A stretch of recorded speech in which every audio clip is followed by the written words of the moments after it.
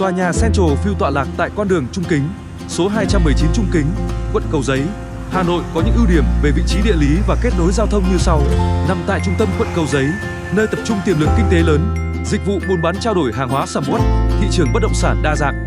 Lân cận các cơ quan quan trọng của Hà Nội và chính phủ như Thanh tra Chính phủ, Bộ Nội vụ, Bộ Tài nguyên và Môi trường, Bộ Kế hoạch và Đầu tư, Viện Kiểm sát Nhân dân tối cao, Tổng cục Hải quan. Hãy liên hệ ngay Property Plus qua hotline 0865 364 866 để tìm được văn phòng ưng ý với chi phí tốt nhất.